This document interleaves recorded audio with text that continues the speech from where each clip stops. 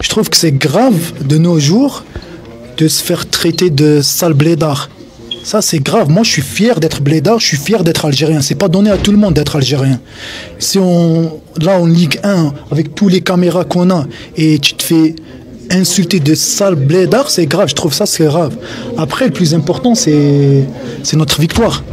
Mais qui vous a insulté de sale blédard? Vous pouvez nous le dire ou... C'est le capitaine, c'est le capitaine. Après, comme j'ai dit, je trouve que c'est grave ça. C'est grave qu'on entend, on entend encore ça, parce qu'en fait, même lui, il y, a, il, a beaucoup, il y a beaucoup de joueurs africains qui jouent avec lui.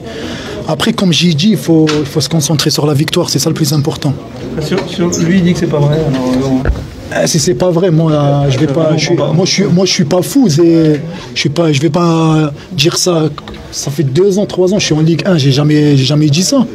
C'est normal, les gens ils disent c'est, c'est, pas vrai, mais comme j'ai dit, c'est, je trouve que c'est grave s'il y a des trucs racistes comme ça qui existent en Ligue 1. Je trouve que c'est grave. Est-ce que certains de vos coéquipiers l'ont entendu L'arbitre l'a entendu Quelqu'un l'a entendu? Moi, je l'ai entendu. C'est ça le plus important. Après, comme j'ai dit, il faut, il faut plus se concentrer sur la victoire.